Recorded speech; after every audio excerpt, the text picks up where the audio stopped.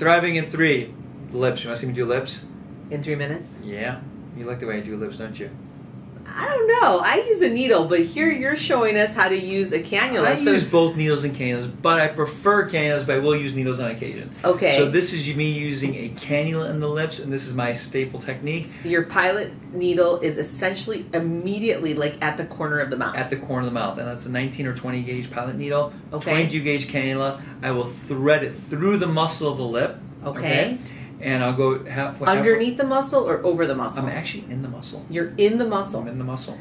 I don't. Sometimes I'll go superficial if I really want to define the lip border or the vermilion border. Okay. Most often I'm in the lip muscle. But you're still staying in the dry border. You're not in the wet border.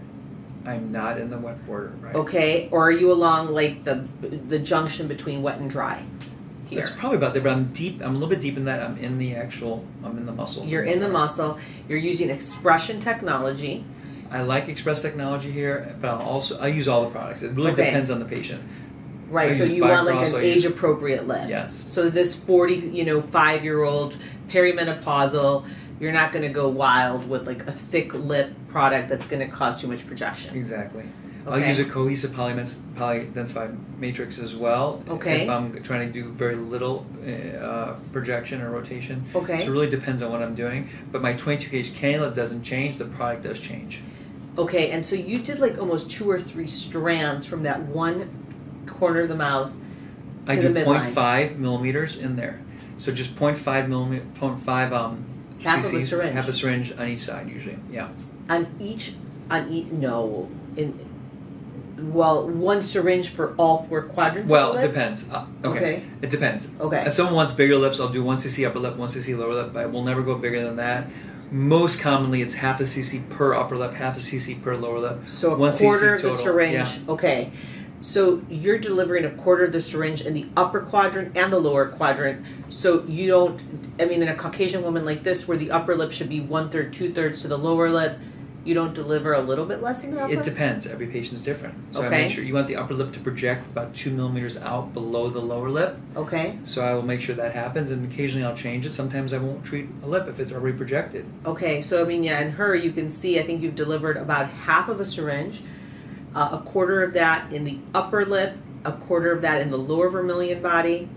And then come around to the other side and do the same thing. Okay. Now, one, one great thing about this technique Okay. and that I like about it is that it's just one. It's two pokes completely, and the whole lip is done. Yeah. So they can put lipstick on right away. They don't get that much swelling. They walk out the door. I rarely ever see a bruise. Do you have to block them?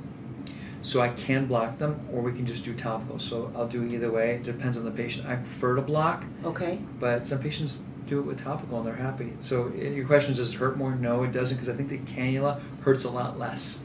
You do. I do.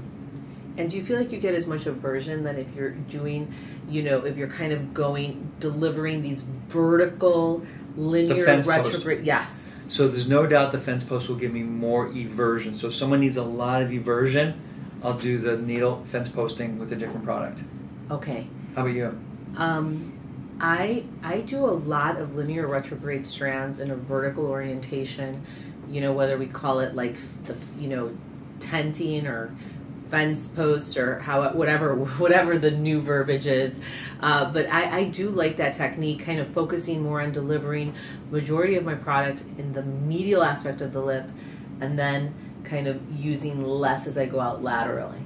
Okay, and we have a video of that somewhere in the in the in the series. Yeah, so whether you feel more comfortable using a 22 gauge cannula or a, a needle, you'll be able to see both techniques. How long do you say this decide. lasts?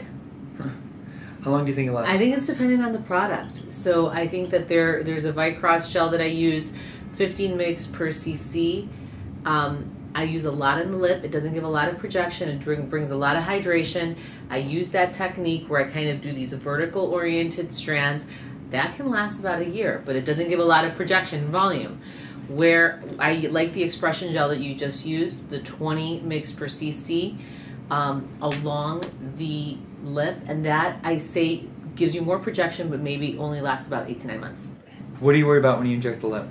I'm worried about getting into the inferior or superior labial arteries. Okay, and um, if you're using the needle, how do you avoid that? You know, you can try to aspirate, especially where the superior labial artery becomes more superficial, which is usually along the midline of the lip.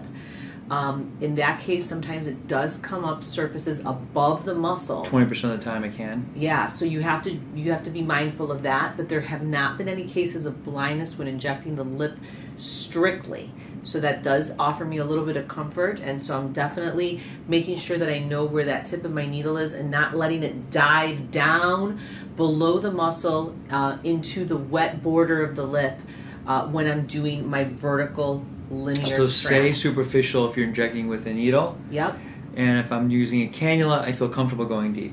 If you're using a 22 gauge cannula, there have been reports of 25 gauge cannulas definitely penetrating into the labial Yes, arteries. agree with you. 22 gauge to me is much safer. All right, Thank you. Now you know how to thrive in the lips. in three minutes.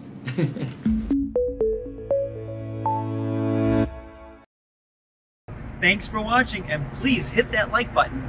And make sure to click on subscribe so that you can stay most up to date on all things thriving. Like me? Mm, you need to subscribe.